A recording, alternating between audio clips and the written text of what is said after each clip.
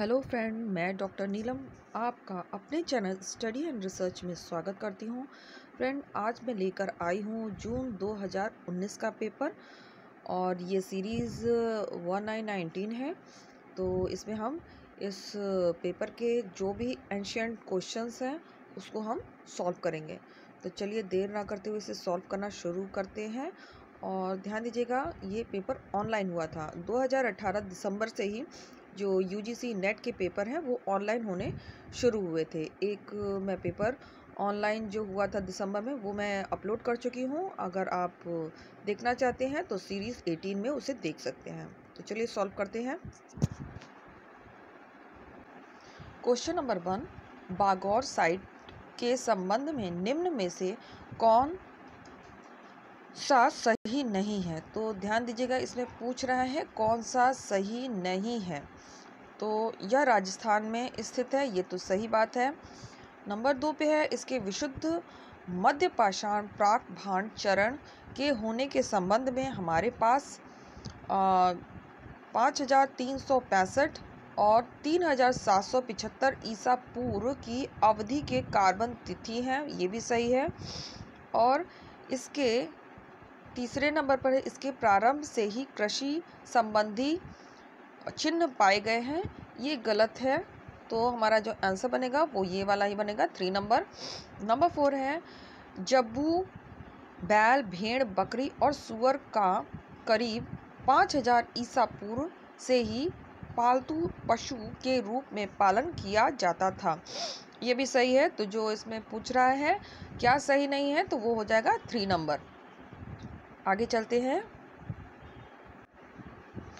Question number two नीचे दो कथन दिए गए हैं, एक को अभिकथन ए कहा गया है, दूसरे को कारण आर कहा गया है। तो अभिकथन ए है। अब इस संबंध में काफ़ी कम संदेह है कि सिंधु घाटी के कतिपय पहलू द्वितीय और प्रथम शताब्दी की संस्कृतियों में मिलते हैं और रीज़न दे रहा है, सिंधु घाटी सभ्यता और वैदिक संस्कृति के बीच प्रारंभिक है। हेती सभ्यता के अस्तित्व को अब नहीं माना जाता है। तो जो ए है, ये सत्य होगा, ये सही है, और जो आर है, ये भी सत्य है। लेकिन हम दे सकते हैं कि इसकी व्याख्या नहीं दे रहा है तो इसमें जो आंसर बनेगा वो हो जाएगा टू नंबर, ए आर दोनों सही है, परंतु इसकी सही व्याख्या नहीं दे रहा है।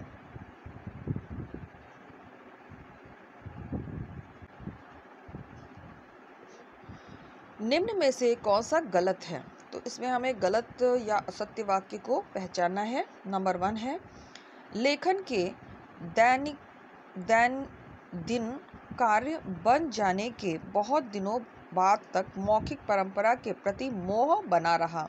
ये बात सही है। फिर व्रत हरि ने घोषणा की थी कि समझ के पास वाक रूप होता है। वाक प्रकटित जागरूकता सभी प्रकार के ज्ञान की नींव है। ये भी बात सही है। नंबर थ्री है इस प्रकार भारतीयों ने कंठस्थ की अपेक्षा ग्रंथस्थ को वरीयता दी। ये गलत है। यहाँ पे हमारा ऑप्शन थ्री नंबर हो जाएगा। और फोर नंबर है नौवीं शताब्दी के आ, लातीन व्याकरणों का विचार आदर्शक भारतीय विचारों से बिल्कुल अलग था। इसीलिए यूरोप में विद्वान व्यक्ति वह था जो लिटरेचर, लिटरेटस अर्थात पढ़ा लिखा लेट, लेटर्ड मैन होता था।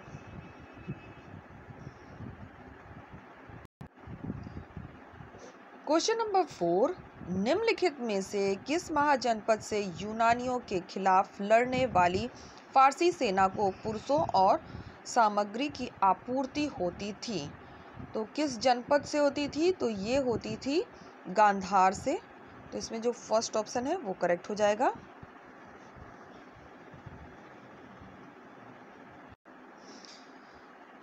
इसमें भी अभिकथन और कारण का क्वेश्चन है।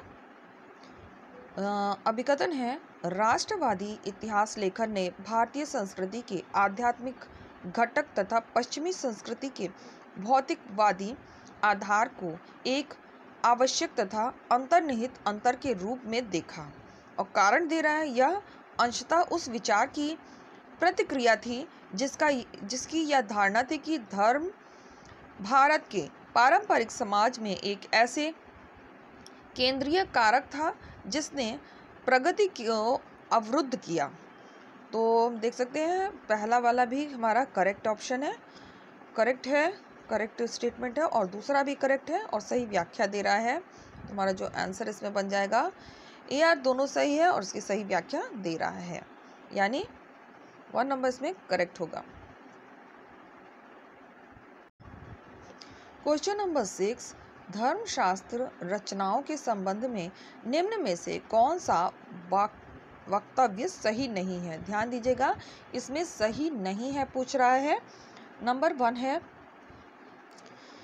इनमें चार वर्णों और सामाजिक जीवन के मापदंडों का संदर्भ है। ये बात सही है, धर्मशास्त्र में दिया गया है। नंबर टू है, इसमें विभिन्न जातियों का संदर्भ नहीं है। तो ये गलत है, जबकि इसमें दिया गया है तो हमारा करेक्ट ऑप्शन टू नंबर हो जाएगा। और थ्री नंबर पे है, इसमें देश, धर्म और कुल धर्म का संदर्भ है। ये भी बात सही है। और नंबर फोर है, इसमें ज़ोर दिया जाता है कि प्रत्येक व्यक्ति अपने वर्ण के धर्म का पालन करे। ये भी करेक्ट है। तो जो करेक्ट नहीं है इनकरेक्ट है, वो हो जाएगा टू नंबर इसमें विभिन्न जातियों का संदर्भ नहीं है।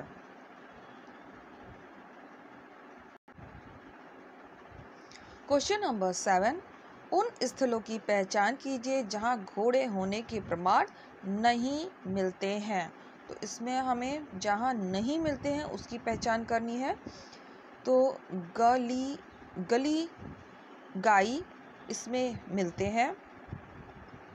और बुर्ज होम में कुत्ते के प्रमाण मिले थे, इसलिए हमारा जो ऑप्शन होगा वो टू नंबर होगा। यहाँ घोड़े के नहीं मिले हैं।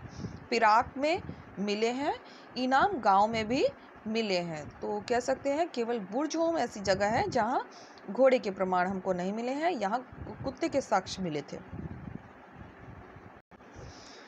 क्वेश्चन नंबर एट, निम्न में से किसको खगोल उपकरणों के सुव्यवस्थित विवरण वाली पहली उपलब्ध भारतीय रचना कहा जाता है? तो इसमें जो पहली रचना थी, वो थी ब्रह्म स्फुट सिद्धांत मतलब थ्री नंबर इसमें हमारा करेक्ट होगा।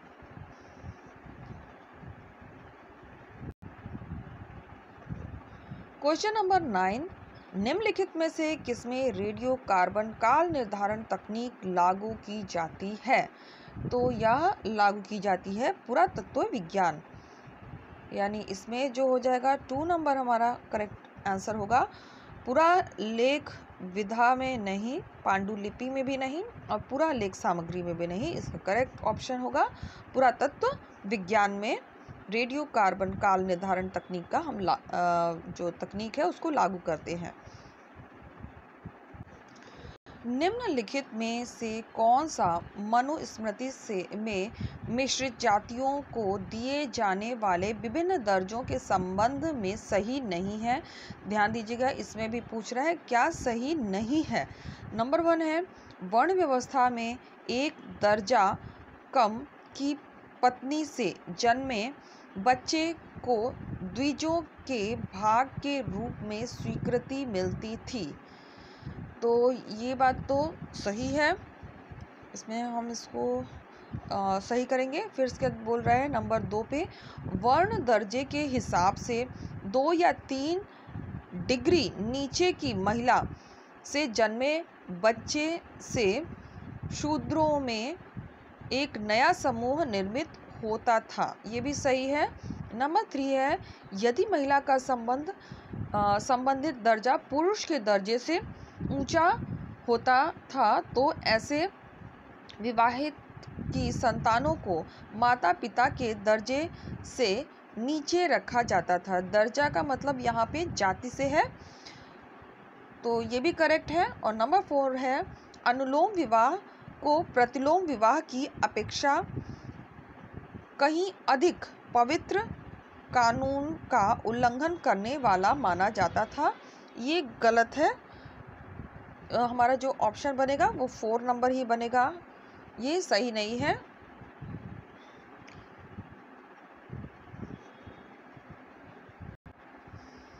क्वेश्चन नंबर इलेवन चट्टानों और मुक्त रूप से खड़े स्तंभों पर उत्कीर्ण लेखों के लोक प्रदर्शन की विधि भारतीय शासकों द्वारा निम्न में से किसके द्वारा अपनाई गई? संबंधित प्रथा का अनुकरण अनुकरण थी। तो संबंधित प्रथा का अनुकरण थी। तो इसमें बोल रहा है, फिर से मैं पढ़ देती हूँ। चट्टानों और मुक्त रूप से खड़े स्तंभों पर उत्कीर्ण लेखों के लोक प्रदर्शन की विधि भारतीय शासकों द्वारा निम्न में से किनके द्वारा अपनाई गई? संबंधित प्रथा का अनुकरण थी। तो यह थी अखे मनी मतलब वन नंबर इसमें हमारा करेक्ट ऑप्शन होगा। ये हो जाएगा। यूनानी नहीं होगा, शक और पार्थियन ये भी नहीं होगा। इसमें करेक्ट ऑप्शन अखे मनी हो जाएगा। क्वेश्चन नंबर ट्वेल्व निम्न में से कौन सा सही सुमेलित नहीं है? इसमें भी जो सुमेलित नहीं है, उसे हमें पहचान करनी है। नंबर वन है नागर शैली। नागर शैली नगर मंदिर का आधार वर्गाकर होता है जिसमें प्रत्येक भुजा के मध्य में अनेक प्रक्षेप होते हैं जो उसे क्रॉस रूप प्रदान करते हैं। ये बात सही है। फिर द्रविड़ शैली है। इस शैली की सबसे महत्वपूर्ण विशेषता उसके पिरा, पिरामिडाकार शिखर हैं। फिर नंबर थ्री है कश्मीरी शैली। कश्मीरी शैली यह वाह्य विश्व के किसी भी प्रकार के प्रभाव से रहित विशुद्ध स्थानीय शैली है। ये ही गलत है। और नंबर फोर होगा, वासर शैली यह उत्तर और दक्षिण शैलियों का मिश्रण है। ये भी सही है। वासर शैली उत्तर और दक्षिण दोनों ही शैलियों का मिश्रण दर्शाती है।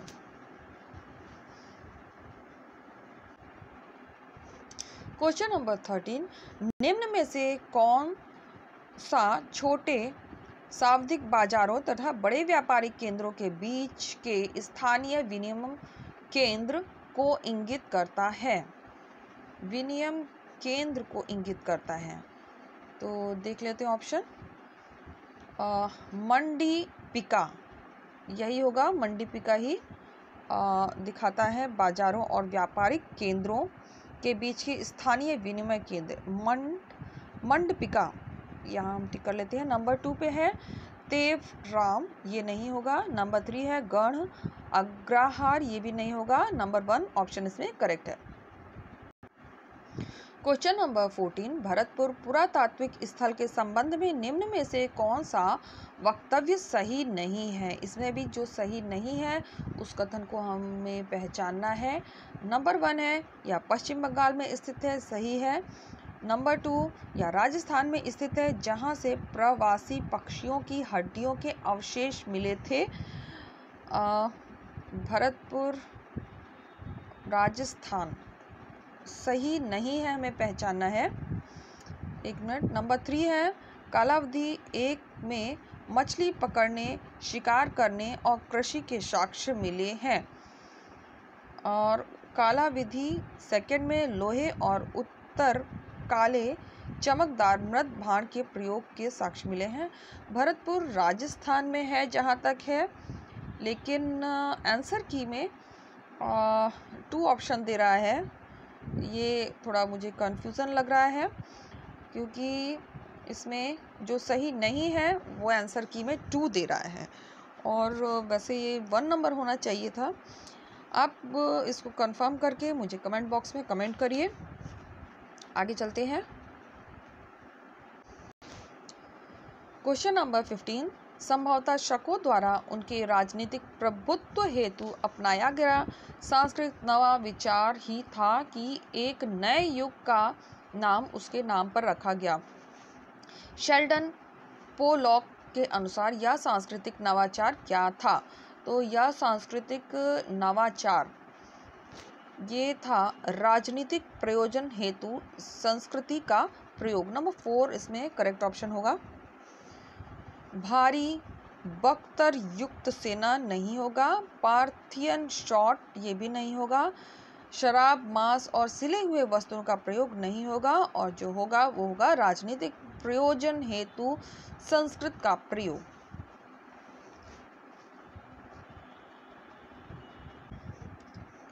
क्वेश्चन नंबर 1616 एक तरफ़ राज्य दिए गए हैं और उसकी भौगोलिक सीमा दी गई है तो हमें इसे आपस में सुमेलित करना है। आवंती। आवंती हो जाएगा मध्य भारत का मालवा क्षेत्र से। सामने ही है। एक मिनट। ये वाला ऑप्शन इसमें करेक्ट होगा। आ, उसके बाद दिया है गांधार। गांधार हो जाएगा आधुनिक पेशावर और रावलपिंडी ज़िले ज़िले तथा कश्मीर घाटी। ये भी आ, गांधार इसी से हो जाएगा। टू नंबर से मैच हो जाएगा। चेदी चेदी मध्य भारत में बुंदेलखंड का पूर्वी भाग, ये भी सामने ही इसका ऑप्शन दिया है। मतलब सी का थर्ड नंबर होगा।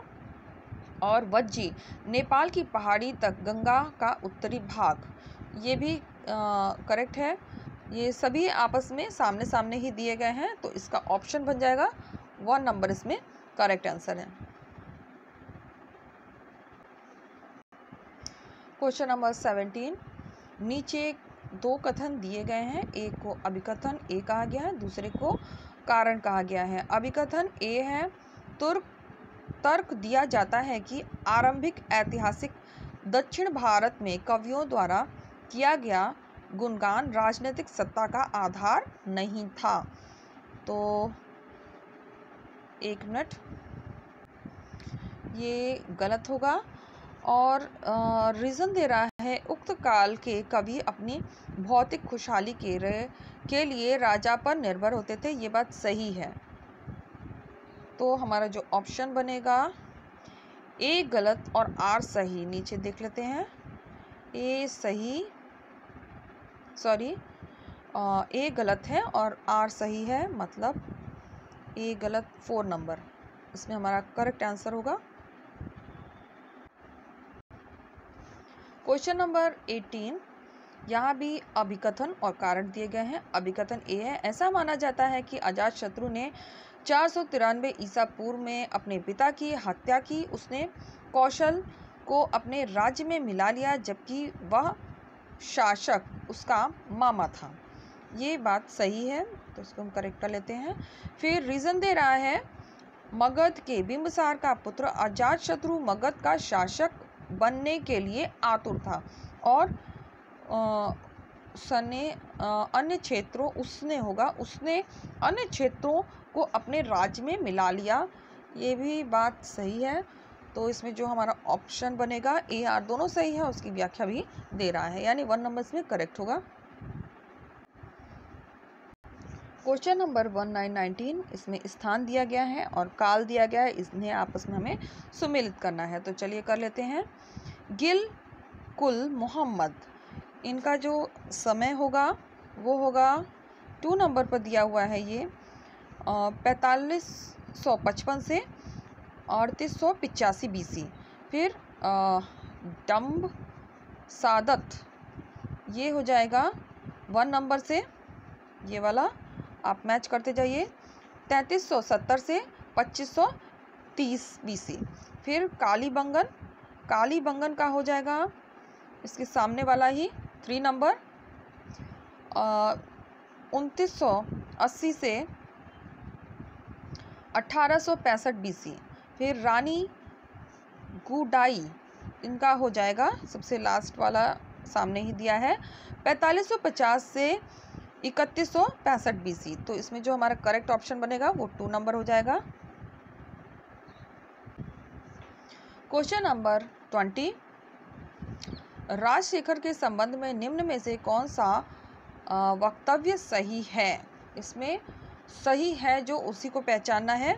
सबसे पहले दिया है नंबर वन पे, वह चोल वंश का सर्वाधिक शक्तिशाली शासक था। ये गलत है। नंबर टू पे है। वह प्रतिहार शासक महेंद्रपाल और महीपाल का दरबारी कवि था। ये सही है तो इसको हम टिक कर लेते हैं। फिर नंबर थ्री पे दिया हुआ है। वह पुराणों में उल्लिखित सात वाहन का पहला शासक था गलत है।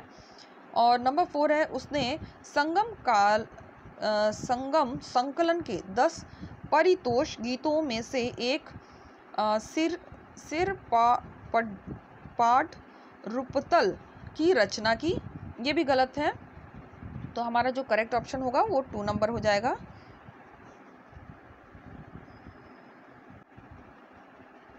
क्वेश्चन नंबर ट्वेंटी वन इसमें पुस्तक दिए गए हैं और लेखक दिए गए हैं।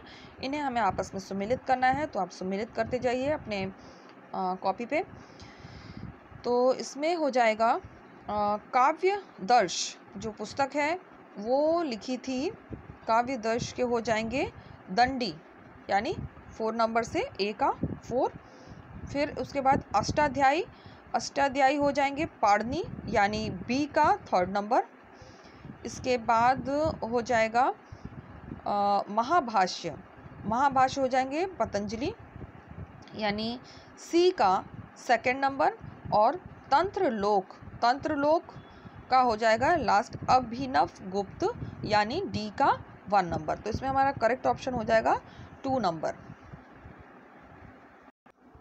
question number twenty two नीचे दो कथन दिए गए हैं और उसका रीज़न दिया गया है, उसके अकॉर्डिंग हमें आंसर देना है। अभी कथन है, गुप्त काल को सांस्कृतिक विकास के क्षेत्र में प्राय क्लासिकल युग कहा जाता है। ये बात सही है। और रीज़न दे रहा है गुप्त काल के कलात्मक दर आदर्शों की प्रशंसा करते हुए यह तर्क दिया जाता है कि यह एक ऐसा युग है जिसमें कलात्मक क्रियाकलापों का आश्चर्यजनक विकास देखने को मिलता है।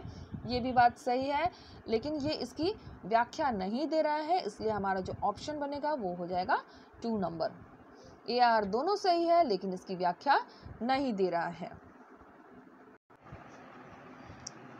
क्वेश्चन नंबर ट्वेंटी थ्री, निम्न में से कौन सा मिल की हिस्ट्री ऑफ़ ब्रिटिश इंडिया के संबंध में सही नहीं है? तो जो सही नहीं है, उसे हमें पहचानना है। चलिए हम कथन पढ़ लेते हैं। नंबर वन है, इसने भारतीयों की परंपरा पारंपरिक संस्थाओं की जड़ और पक्षपात, पक्षगामी पाया। एक मिनट क्वेश्चन फिर से मैं रिपीट कर देती हूँ। निम्न में से कौन सा मिल के हिस्ट्री ऑफ़ इंडिया के संबंध में सही नहीं है? तो नंबर वन है इसमें, इसने भारतीयों की परंपरा और संस्था को जड़ और पक्षगामी पाया। ये बात तो सही है, फिर इसका नंबर टू पे है, मेल द्वारा किया गया विश्लेषण साम्राज्यिक सरकार के अनुकूलता, ये भी बात सही है। फिर नंबर थ्री पे है, यह हैली बरी कॉलेज में भारतीय सिविल सेवा के ब्रिटिश अधिकारियों हेतु भारत के संबंध में एक पाठ्य पुस्तक बनी। ये भी बात सही है। नंबर फोर है, इस पर ब्रिटिश उपयोगितावादी दर्शन का कोई असर नहीं था। ये गलत है। नंबर फोर, इसमें हमारा आंसर बन जाएगा। क्वेश्चन नंबर ट्वेंटी फोर अग्रहारों के संबंध में निम्न में से कौन से वक्तव्य सही है? तो हमें सही वक्तव्यों को पहचानना है। चलिए देख लेते हैं। नंबर ए है यह एक संस्कृत शब्द है, जिसका प्रयोग विशेष रूप से प्रथम शताब्दी के मध्य में हुआ। बात सही है। फिर, यह एक ऐसा शब्द था जो ब्राह्मणों को दिए जाने वाले भूमि अनुदान की एक श्रेणी का पद नाम था। ये भी बात सही है। फिर सामान्य तौर पर ये अनुदान स्थायी होते थे, ये भी बात सही है। फिर दान दान प्राप्तकर्ता को उत्पादन संगठित करने और भूमि से राजस्व व अन्य संसाधन एकत्र करने का अधिकार दिया जाता था। ये भी बात सही है तो देख लेते हैं। नीचे ऑप्शंस इसमें जो ऑप्शन होगा हमारा आ, सारे ही करेक्ट हैं इसलिए हमारा थर्ड वाला ऑप्शन करेक्ट होगा। ए बी सी डी सभी दिए हुए हैं। आगे चलते हैं। क्वेश्चन नंबर ट्वेंटी फाइव इसमें लेखक दिए गए हैं और उनके लेख दिए गए हैं। इन्हें आपस में हमें सुमेलित करना है। तो चलिए सम्मिलित कर लेते हैं। इरफान हबीब इरफान हबीब के हो जाएँगे ये सेकंड नंबर से। यहाँ पर, इमै imagining river Saraswati of defence defence of common sense, B Lal. B Lal के हो जाएँगे वन नंबर से। Perhaps the earliest plough, ploughed field so far ex excavated anywhere in the world, यानी B के हो जाएँगे वन नंबर फिर सी के हो जाएँगे R H Meadow. R H Meadow के हो जाएँगे फोर नंबर से।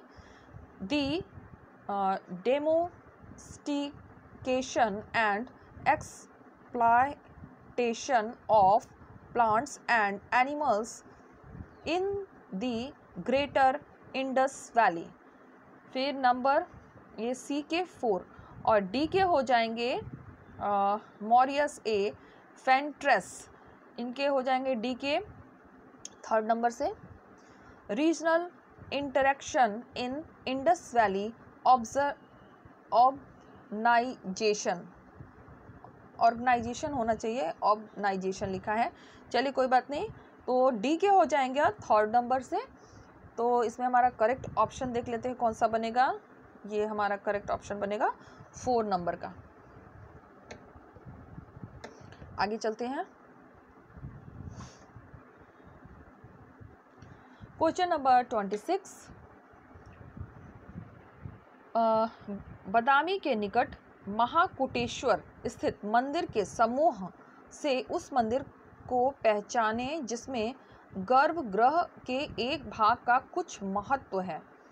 तो किसका महत्व है, ये हमें पहचानना है। नंबर वन है गल गला गन्नाथ ये तो नहीं है। फिर हो जाएगा दो नंबर पर, संगमेश्वर, यही यही करेक्ट ऑप्शन होगा, यानी टू नंबर और नंबर थ्री दिया है, हुची मल्ली गुड गुड़ी ये भी नहीं है। और नंबर फोर का कदा सी देश्वर मंदिर। ये भी नहीं होगा तो हमारा जो करेक्ट ऑप्शन होगा, वो होगा Sangameshwar. Question number twenty seven यदि हम आहार में निकले लोहे की बात छोड़ दें तो भारत में प्रारंभिक प्रारंभिक तौर, ये तौर ही है तौर, स्तर, हेतु, सभी चौदह कार्बन, चौदह सी तिथि, करीब हज़ार ईसा पूर्व, अतः इससे थोड़ा पहले की आती है। इसका आ, मत यह मत किसका है? तो ये मत बताना है ये मत था इरफान हबीब यानी थ्री नंबर इसमें हमारा करेक्ट ऑप्शन होगा। क्वेश्चन नंबर ट्वेंटी एट निम्न में से कौन सा गलत तरीके से सम्मिलित है? यानी हमें गलत वाला पहचानना है। नंबर वन है आर एस शर्मा और अ अर्बन डीके इन इंडिया, ये सही है। फिर उसके बाद है नंबर टू पे, जॉन्स विलियम्स। तो जॉन्स विलियम हो जाएँगे the art of Gupta Indian empire and province. ये भी सही है। A L Basham, the the wonder that was India. ये भी सही है। Romila Thapar myth and reality studies in the formation of Indian culture ये वाला गलत होगा। तो हमारा ऑप्शन फोर नंबर इसमें हो जाएगा, क्योंकि गलत पहचाना था, रोमिला थापर का ये नहीं है। आगे चलते हैं। Question number twenty nine Kalibangan, जहाँ प्राक हड़प्पा संस्कृति के अनेक स्थल पाए गए, निम्न में से किस क्षेत्र में स्थित है? तो ये बहुत इजी है, ये स्थित है राजस्थान में। मतलब थ्री नंबर हमारा करेक्ट होगा। यहाँ पर पैरा वाले क्वेश्चन आ गए हैं। यहाँ पे जो उत्तर देने हैं, वो हमें ये पैरा पढ़कर उसके बाद उत्तर देने हैं। तो मैं आपके लिए पैरा पढ़ देती हूँ। आप वीडियो पॉज करके भी पैरा को पढ़ सकते हैं। तो दिया हुआ है, पूर्व मध्यकाल के राजनीतिक इतिहास में राज्यों और भूमि अनुदानों एक मिनट। हाँ। भूमि अनुदानों का विस्तार देखने को मिला। ब्राह्मणों के, ब्राह्मणों को दिए जाने वाले भूमि अनुदानों ने राजनीतिक शक्ति के विधि मान्यकरण में महत्वपूर्ण भूमिका निभाई और कृषि संबंधों पर उसका महत्वपूर्ण प्रभाव पड़ा। उपमहाद्वीपों के विभिन्न भागों में कृषि का विस्तार हुआ और ग्रामीण समाज अत्यधिक स्त्रीयकृत बन गया। यह शहर अवनति का काल नहीं था, यह दक्षिण भारत को देखने से बिल्कुल स्पष्ट है कि यह यहाँ शिल्पों, शहरों, व्यापार और व्यापार संघों का पर्याप्त विकास हुआ। उपमहाद्वीप, चीन और दक्षिण पूर्व एशिया के बीच व्यापारिक संबंधों में काफ़ी विस्तार हुआ। भक्ति, पूजा, धार्मिक विचार, व्यवहार की प्रमुख विशेषता थी। मंदिर न केवल पवित्र स्थल थे, बल्कि शहरों, शहरी केंद्रों के मूल और राजनीतिक प्रतीक भी थे। उन्हें पर्याप्त संरक्षण मिला, जिसके कारण वे विभिन्न सामाजिक समूहों के क्रियाकलापों और आकांक्षाओं के केंद्र बिंदु बन गए। संस्कृत और देशी भाषाओं में अनेक पुस्तक की रचना सहित सांस्कृतिक क्षेत्रों में पर्याप्त विकास हुआ, मंदिर स्थापत्य कला और मूर्तिकला का विकास और परिष्करण हुआ। विभिन्न क्षेत्रीय शैली स्पष्ट दिखाई पड़ने लगी। 600 से 1200 ईसा के दौरान राजनीतिक, सामाजिक, आर्थिक, सांस्कृतिक स्तरों पर घटनाओं ने विशिष्ट क्षेत्रीय संगठनों और प्रतिमानों में निश्चित रूप धारण किया। तो चलिए इसके क्वेश्चंस देख लेते हैं। क्वेश्चन नंबर थर्टी यहाँ इंगित पूर्व मध्यकाल का प्रारंभ लगभग कब हुआ? तो यह आरंभ हुआ था 600 सौ ईसा ईस्वी में। ये वाला फोर नंबर इसमें करेक्ट ऑप्शन होगा।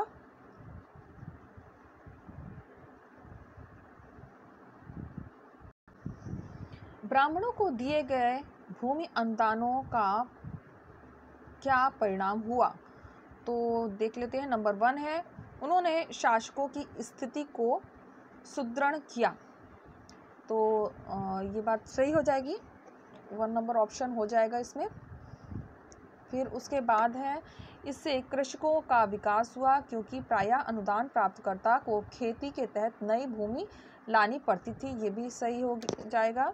फिर इसके बाद नंबर थ्री पे है, भेदभावी भाव विहीन ग्रामीण समाज का और स्त्रीकरण हुआ, ये भी सही है। और उसके बाद नंबर फोर पे है। धार्मिक स्थलों और व्यक्तियों धार्मिक स्थलों और व्यक्तियों को भूमि अनुदान प्रदान करने की प्रथा की शुरुआत 600 ईसा से हुई। ये गलत होगा तो इसमें जो हमारा ऑप्शन बनेगा, वो हो जाएगा थ्री नंबर एक मिनट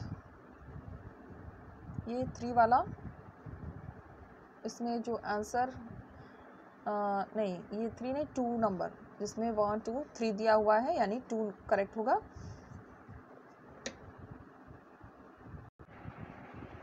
फ्रेंड ये इस वीडियो का लास्ट क्वेश्चन है। इस पेपर में यहीं तक एंशियन के क्वेश्चन है। आगे मिडविल के क्वेश्चन स्टार्ट हो रहे हैं तो वो मैं अगले पार्ट में आपको लेकर आऊँगी।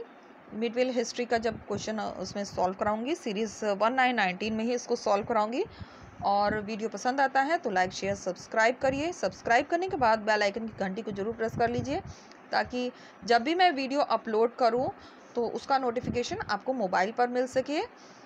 इस समय थोड़ा प्रॉब्लम की वजह से मैं वीडियो कंटिन्यू अपलोड नहीं कर पा रही हूँ। जब भी समय मिलता है मैं अपलोड कर देती हूँ, इसलिए आप सब्सक्राइब करके रखिए। तो जैसे ही टाइम मिलता है मैं वीडियो अपलोड कर दूँगी।